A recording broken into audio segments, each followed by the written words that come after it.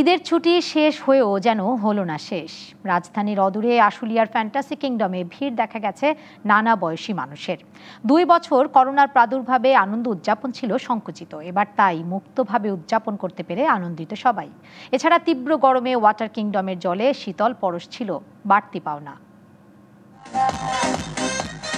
আশুলিয়ার কনকোট কোম্পানির ওয়াটার কিংডমের পুলেটি। পরিবার, পরিজন বন্ধু বান্ধবের সাথে ঈদের ছুটি উদযাপনে মাতেন সবাই। রাজধানী সহ দেশের বিভিন্ন স্থান থেকে দর্শনার্থী আসেন এখানে। তারা জানালেন করোনায় ঘরবন্দি থাকার পর স্বতঃস্ফূর্ত উদযাপন করতে পেরে আনন্দিত তারা। এছাড়া তীব্র গরমে ওয়াটার কিংডমের পানিতে খুঁজে নেন শীতল পরশ।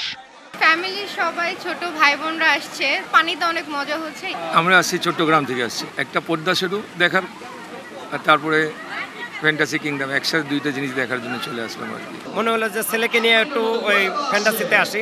ফ্যান্টাসিতে একটু রাইডারে ওঠার পরে এখন এই যে ওয়াটার কিংডমে নিয়ে আসছি। পানি টানিতে একটু মানে কোনো রকম টেম্পারেচার ইয়া থাকবে আর কি এই হিসাবে মানে এখানে আসা আর কি। পার্কটির অন্যান্য রাইডেও দর্শনার্থীদের ভিড় ছিল। ঘোরাফেরা করলাম বিভিন্ন রাইডসে চড়লাম। আমার বেবি আসছে আমার ওয়াইফ আসছে। আমরা খুব এনজয় করলাম। অনেক ভালো লাগতেছে অনেক দিন পর আসলে বের হইতে পেরেছি এটাই অনেক বড় বিষয়। ঈদ উদযাপনে বেশ কিছু অফার ও মূল্য ছাড় দিয়েছে কনকর্ড। একটা ফ্যামিলি যেন সাশ্রয়ী মূল্যে এখানে ঘুরে যেতে পারে তার জন্য বিভিন্ন ধরনের প্যাকেজ দিয়েছি। যে অফারটা হয়তো আমাদের ইন্ডিভিজুয়ালি যদি আমরা কিনতে যাই হয়তো পঁচিশশো টাকা লাগবে সেটা আমরা পনেরোশো টাকায় দিয়েছি এবার। যেটা হয়তো পনেরোশো টাকা লাগবে সেটা আমরা এক হাজার টাকা করে দিয়েছি। যেটা মনে করেন যে বারোশো টাকা লাগবে সেটা আটশো টাকা আছে।